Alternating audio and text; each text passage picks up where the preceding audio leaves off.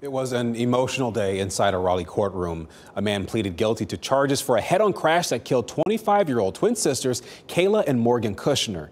23-year-old Griffin Curtis will spend between 16 and 23 years in prison. He admitted to smoking marijuana and drinking before the crash last year.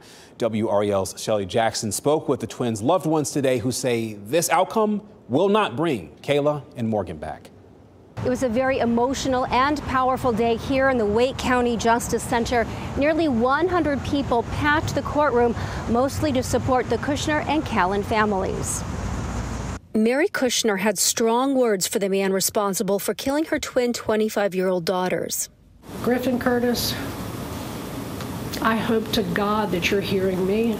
Dozens of people packed the courtroom, sharing photos and stories about Kayla and Morgan and how they had touched their lives. They were better people than I could ever hope to be, and surely the nicest and most loving people I have ever met.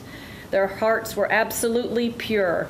People in the crowd wiped away tears and put their arms around each other as they listened to Brennan Kalen, Kayla's boyfriend who was severely injured, talk about the love of his life. I felt like the luckiest man on the planet.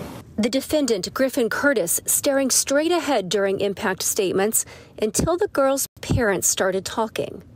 No one is the same. I am not the same. Mary is not the same. Many asking the judge for the maximum sentence for Curtis, saying he made a choice to drive impaired. Griffin, after what you have done, I am asking Judge Ridgeway to give you the most extreme punishment allowed because you killed two people. Curtis did address the family. I'm so sorry I took Morgan killed from you. They did not deserve to die that day, and I'm wishing I change my life for theirs. This case is the sum of a parent's greatest fears. Curtis will serve a minimum of 16 and a half years behind bars.